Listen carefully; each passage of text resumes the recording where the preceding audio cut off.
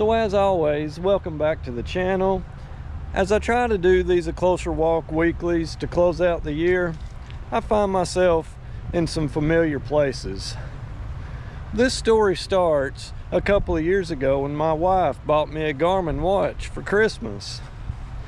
And so I took it out of the box, I charged it up, I downloaded the app, and I got that thing ready to go. And it wasn't very long afterwards, I earned a few badges. And the more I wore it, all of a sudden I got a, a chime on my phone and a buzz on my watch saying I got a badge for getting my steps in three consecutive days in a row. Well, I didn't think much of that until it happened again at seven consecutive days. Then my curiosity was piqued. So I thought, when will I get another badge? So I looked at the app and it was 30 consecutive days. Did Garmin not know that 10, 15, 20, and even 25 even existed? So I thought, oh boy, here we go. So I started walking. Now this time I didn't have a treadmill, so I walked up and down and back and forth on my road. I walked at Ijams Nature Center. I walked at a local track around the church. I walked at the Townsend Greenway and here at Pigeon Forge Greenway. I walked in the rain, in the snow. I walked in the bitter cold, strong winds, and thankfully, even some sunshine. Now the number of steps kept increasing on a daily basis and that number kept getting larger and larger. And on the 30th day, I got out early and began walking. And about a mile away from my house, I received a phone call to where I ended up at the emergency room at UT Hospital.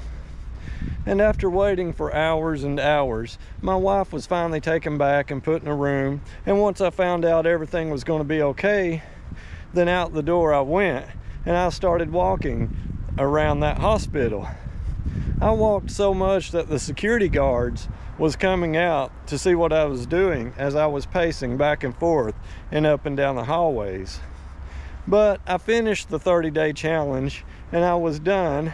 I received the badge, or at least so I thought. So the next day when I got in and sat down, I knew that there was one more badge.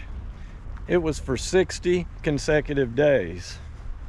And I told myself that I was content with 30 and that it was 4:45 in the afternoon and that the sun would be setting in an hour and I had a long ways to go to get my steps in for the day. Just to let it go. Just let it go. But before I knew it, my shoes were on and this big doofus was up and out the door walking. I walked before work and after work and just any time that I could. Finding the time to get that many steps in. Oh, did I tell you those steps kept increasing daily? Yes. Well, finding the time to get that many steps in in a day, along with everything else, was probably the hardest part of this challenge. I battled through knots in my calves, to waking up with calf cramps, to sore shins. I even got this weird bruise that just come up out of nowhere. I didn't hit anything or nothing hit me. It just came up from the inside, but I kept walking. I even walked during an Arctic blast when it was five degrees outside with 30 mile per hour winds. And when I turned the corner and that wind hit me in the face, it was unbearable, but I kept walking. Even at my lowest point, walking in the pouring rain with my wife's Barbie pink and gray umbrella. But I kept walking.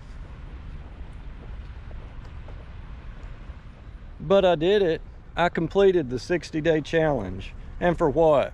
Did I make the news? No, but I did get this badge.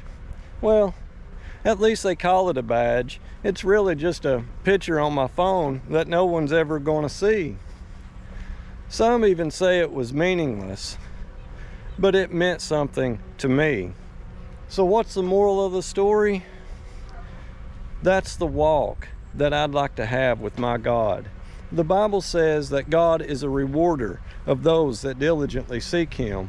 And now I'm not talking about a picture on a phone either. I'm talking about something of real substance, of real significance.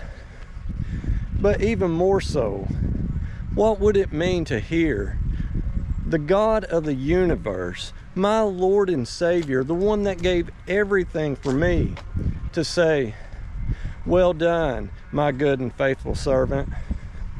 I'd like to find out.